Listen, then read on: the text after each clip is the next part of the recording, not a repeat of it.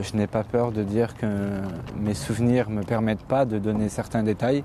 D'ailleurs, aux yeux de certaines personnes, ça a été un peu euh, euh, regrettable de ma part, mais je pense qu'ils ne se, se, rendent pas compte euh, que, de, que de revenir dix ans en arrière sur des...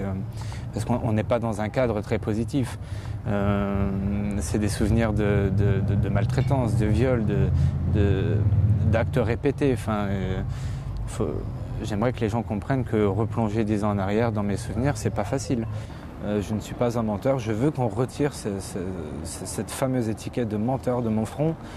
Et je suis venu m'expliquer. Euh, je suis venu m'expliquer aujourd'hui devant la cour d'assises et j'aurai l'occasion de le faire durant ces trois prochaines semaines. Donc on verra le, résultat, mais je ne veux pas qu'on ait des propos à mon égard qui ne sont pas vrais.